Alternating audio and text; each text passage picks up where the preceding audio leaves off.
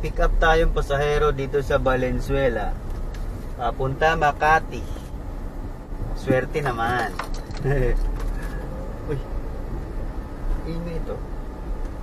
Ingay na ito. Ah, ha. Uy, buwi naman ano, andito si ma'am. Dito na pala si ma'am. Uy.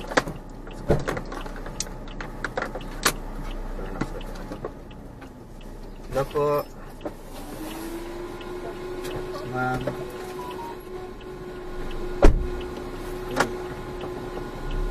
Balik tayo ma'am no? Ako.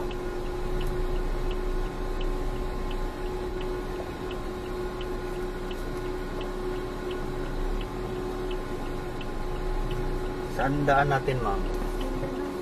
Mindanao, EDSA. Mindanao. Trinoma no? Tapos EDSA no? 奶奶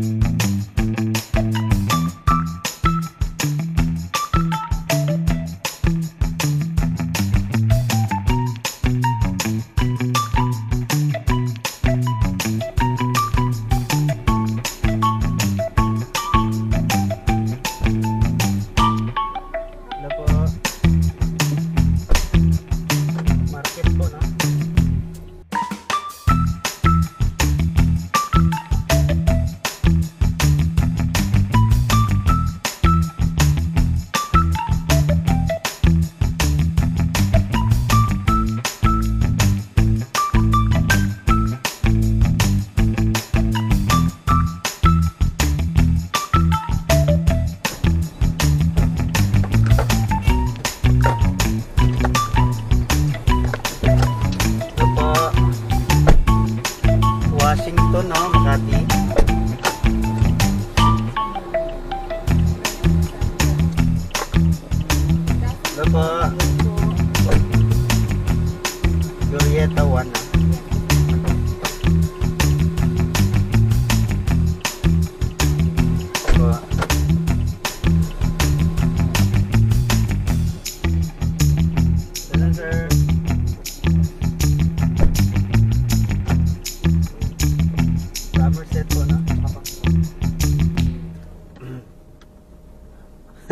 Ayun!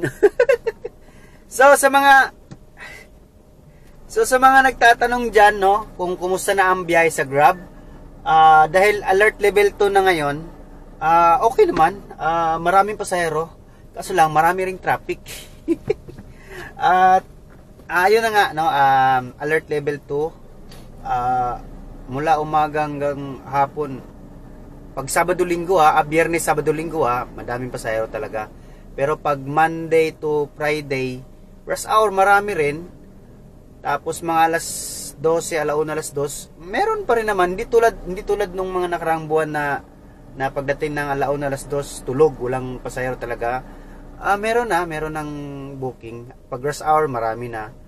Marami na nga akong naisasakay ng mga ano eh, may may kasamang bata. Kung nga pala, mga, marami kasing nagtatanong sa akin na ano, na paano ba magpasok ng sasakyan sa Grab?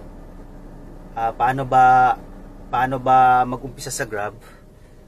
So sa ngayon kasi wala pang ano eh, wala pang bukas si LTFRB na slot eh para para ma-register yung sasakyan nyo, ma-apply doon sa sa LTFRB para mabigyan kayo ng PA, may bigyan kayo ng permit para pwede kayong bumiyahe wala pang slot eh pero soon magkakaroon yan kaya abang-abang lang kayo sa siguro sa website ng LTFRB no? Baka parang ano parang doon yata eh popost ng LTFRB kukunti pa rin yung bumabiyahe hindi tulad nung dati na napakadami namin di ba? So maraming nabawasan maraming nalagas.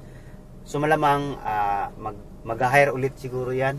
So abang-abang lang kayo sa website nila sa ano sa alam ko sa Facebook yata pinopost ng LTFRB eh.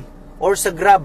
Ah, minsan nagpo-post din si Grab na oh kailangan ng ah, naghahanap ng halimbawa 10,000 sasakyan para sa slot. So abang-abang lang kayo. Oo, makakabiyahe rin kayo. Basta ano ha, bago yung sasakyan ha kasi ah, ayaw ni ayaw ni Grab na luma eh. Gusto niya bagong sasakyan.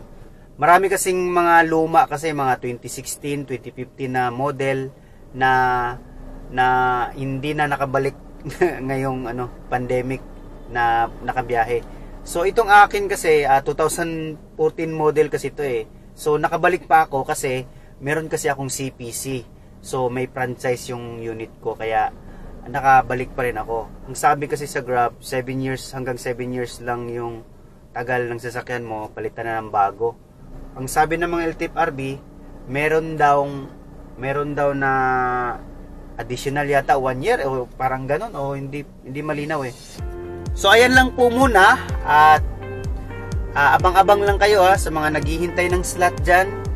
Ah, magkasama-sama rin tayo sa kalsada kung gusto nyong pumasok sa transport na ah, hanap buhay. Magkita-kita tayo sa traffic. so, until next video, kita-kits sa next video. Bye-bye!